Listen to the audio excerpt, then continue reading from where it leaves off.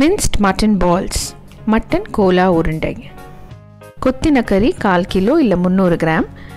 உப்பு தேவைக்கேற்ப எண்ணெய் பொரிப்பதற்காக. இந்த கொத்தின கறியை நல்லா கழுவிட்டு வடிகட்டிடுங்க ஒரு அகலமான பேனில் போட்டு இதில் இருக்கிற தண்ணி வத்துற வரைக்கும் இதை நம்ம வறுக்க போகிறோம் இந்த ரெசிபிக்கு இந்த கறியில் சுத்தமாக தண்ணி இருக்கக்கூடாது. இப்படி செய்வதற்கு நாலு டேபிள் ஸ்பூன் பொட்டுக்கடலை ரெண்டு காய்ந்த மிளகாய் சோம்பு ஒரு டீஸ்பூன் மிளகு ஒரு டீஸ்பூன். சின்ன வெங்காயம் ஒரு பதினஞ்சு பூண்டு ஒரு பதினஞ்சு பல் பச்சை மிளகாய் ரெண்டு ஒரு துண்டு இஞ்சி கருவேப்பிலை சிறிதளவு கொத்தமல்லி சிறிதளவு தேங்காய் ஒரு பத்துலேருந்து பன்னெண்டு பத்தை. டேபிள் ஸ்பூன் கசகசா ஒரு டேபிள் ஸ்பூன் தனியா ரெண்டு துண்டு பட்டை கிராம்பு ஒரு எட்டு ஏலக்காய் ஒன்று இப்போ இந்த காய்ந்த பொருளை ஒன்றா அரைக்க போகிறோம் இந்த ஈர பொருளை ஒன்றா அரைச்சி பேஸ்ட் ஆக்க போகிறோம் பார்த்தீங்கன்னா கறி தண்ணி விட ஆரம்பிச்சாச்சு. இப்போ ஒரு அரை டீஸ்பூன் மஞ்சள் பொடி சேர்க்க போகிறோம் இந்த தண்ணி எல்லாம் வற்றி ட்ரை ஆகிற வரைக்கும் நம்ம இதை சமைக்க போகிறோம்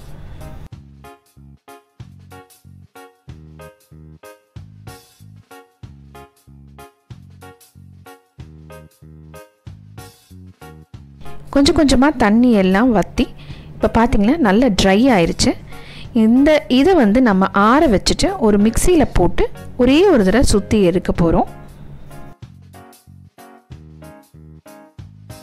இது ஆறுறதுக்குள்ளே நம்ம மற்ற பொருட்களை அரைச்சி ரெடியாக வச்சுக்கலாம். காய்ந்த பொருளை பவுடர் ஆக்கிக்கலாம்.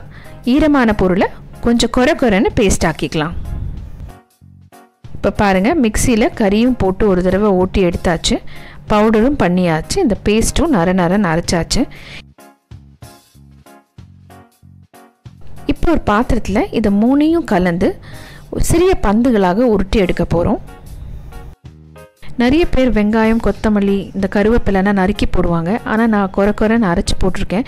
இதுக்கு காரணம் என்னன்னு பார்த்தீங்கன்னா எண்ணெயில் பொரியும் போது ஒரு சில நேரம் அந்த கொத்தமல்லி வெங்காயம் எல்லாம் தனித்தனியாக வர ஆரம்பிச்சிடும் பிரிஞ்சு. அது இந்த மாதிரி அரைச்சி போடும்போது வராது.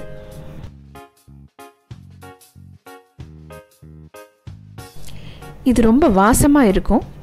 இதோடு நீங்கள் உப்பு சேர்த்துட்டு இந்த கலவையை நல்லா பிசைஞ்சு நீங்கள் வேணும்னா ஒரு டீஸ்பூன் எண்ணெய் ஊற்றிக்கலாம் அப்போ அந்த பந்துகள் உங்கள் கையில் ஒட்டாமல் அழகாக ஒரே மாதிரி வரும்.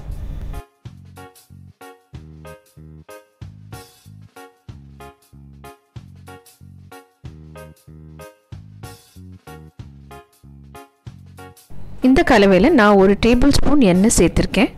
இது ஒட்டாமல் ஒரே மாதிரி சின்ன சின்ன பந்துகளாக உருட்டி அழகாக எடுத்து வச்சுருங்க.